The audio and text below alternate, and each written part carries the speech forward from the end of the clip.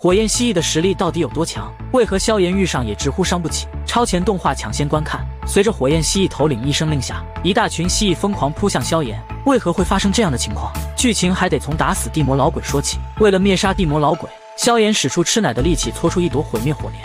三色火莲的威力虽然很猛，可它只能对四星斗宗造成威胁。想要拿下地魔老鬼这样的七星斗宗，四色毁灭火莲才是最有效的招式。为了躲避毁灭火莲，地魔老鬼竟然躲进虚空之中，可惜还是被千百二老发现。最终的结果显而易见，只剩残血的地魔老鬼肯定不是千百二老的对手，最后竟然死在白老手上。地魔老鬼死后，萧炎打算前往天坟炼气塔补充星火。除此之外，萧炎也想在塔底好好修炼一番。毕竟中州这个地方卧虎藏龙，凭借萧炎现在的实力还远远不够。来到塔底之后，萧炎感觉岩浆深处还有东西在召唤自己。其实岩浆之中还有另一朵陨落星岩，只是当时的萧炎并不知情。随后就发生了奇怪的一幕，一个类似人形火焰的能量体突然袭击萧炎。